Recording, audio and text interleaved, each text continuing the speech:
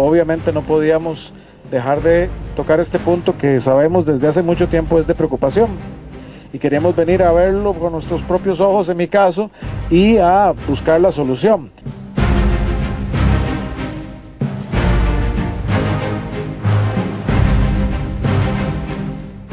El compromiso es prontamente conocer esto y dar respuesta pronta para que esta, este puente, que todos entendemos es una necesidad imperiosa para la comunidad, sea una realidad. Esta fue la posición del presidente Carlos Alvarado tras su visita al punto donde el río se llevó el puente que comunica con General Viejo, La Linda, La Hermosa, Peñas Blancas, Santa Ana, Venecia y otras. Este día se anunció que los diseños de puente estarían listos en agosto, pero también los pobladores plantearon una propuesta diferente de infraestructura, la cual será analizada por las autoridades. Se trata de una estructura de dos vías en cemento que tendría una longitud de 100 metros y que el valor sería de 1.300.000 dólares. Felices porque hoy concretamos algo que tenemos tiempo de venir peleando por eso. Tenemos rato ya con planos y con una cosa y con la otra, pero ya hoy don Mario, el director de Conavi, no es una solución pronta porque es un puente grande, es un puente muy complicado, es un puente de 80 metros de espejo, de más de 100 metros de largo y en puro cemento a dos vías. Esa es la propuesta de ustedes como vecinos. La propuesta de nosotros como vecinos y como, como grupo organizado que somos los de, los, de la Comisión del Puente. Estamos muy esperanzados, muy contentos con la reunión que tuvimos con ellos. Eh, les presentamos la opción que tenemos nosotros y aparentemente es viable.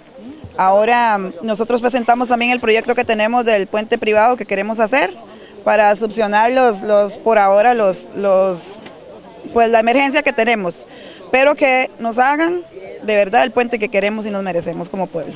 La idea precisamente de, la comunidad es pensar no en algo provisional, la idea es que lo que queremos es un puente definitivo acá. Eh, se va a trabajar en, la construcción de un puente eh, para solucionar el problema inmediato, que ya eso tenemos eh, los ingenieros que están a cargo de la obra y demás, pero sí queremos que el gobierno, en vez de venir a hacer una obra eh, paliativa, que sea una obra definitiva, que vengan a construir, así se lleven un año más, pero que sea un proyecto que realmente eh, venga a cumplir las expectativas que, de la comunidad. El puente sobre el río General había colapsado en octubre anterior por el paso de la tormenta tropical Nate. Posteriormente, los vecinos construyeron un puente provisional que también fue arrasado por las lluvias de mayo anterior.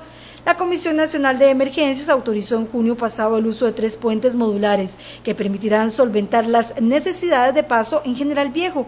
Asimismo, Conavia aportó otras tres estructuras metálicas, lo que permitirá la instalación de un puente de 120 metros de longitud. Desde el primer momento en que supimos en esta nueva administración de la condición que ocurrió en el puente, sobre todo con la solución que había planteado la comunidad, que nuevamente fue eh, arrasada por la corriente del río, eh, nos abocamos a buscar una solución conjunta con el CONAVI. Esto implicó pues de, la de parte de la Comisión Nacional de Emergencia, eh, eh, tomar un acuerdo de la Junta Directiva para destinar tres puentes modulares que pudiesen ser colocados en ese sitio. ¿Se podría descartar eso si se acepta la posibilidad, verdad, de, la opción que están ofreciendo los vecinos?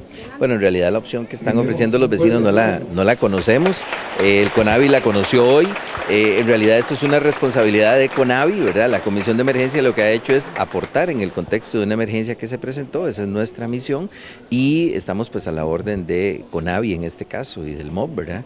Eh, pero el señor presidente también ha hablado hoy de la necesidad de analizar ambas propuestas. Por su parte, el director del CONAVI, Mario Rodríguez, indicó que analizarán la propuesta de los vecinos. Tenemos el compromiso que ya eh, estoy seguro que, podemos escuchar y podemos estudiar y podemos decir que sí. O sea, para mí es un orgullo llegar a una comunidad que no, que no simplemente dice, mire, tengo este problema sino mire, tengo este problema y así lo resuelvo.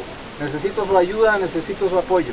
En la medida en que yo me meto y me involucro en la solución de los problemas, hacemos e, e, ese ese ese, eso que dice el señor presidente de que juntos podemos hacer las cosas, juntos podemos resolver, juntos tenemos que cambiar la manera de pensar de cómo, se, cómo hacer que ese país camine. Y yo creo que, ustedes nos están dando un, ejemplo de una forma en que, en que los problemas se resuelven y las cosas se deben hacer. Durante los próximos días esperaría una reunión de la comisión de este puente con el ministro de Obras Públicas y Transportes, Rodolfo Méndez, para darle seguimiento a este caso.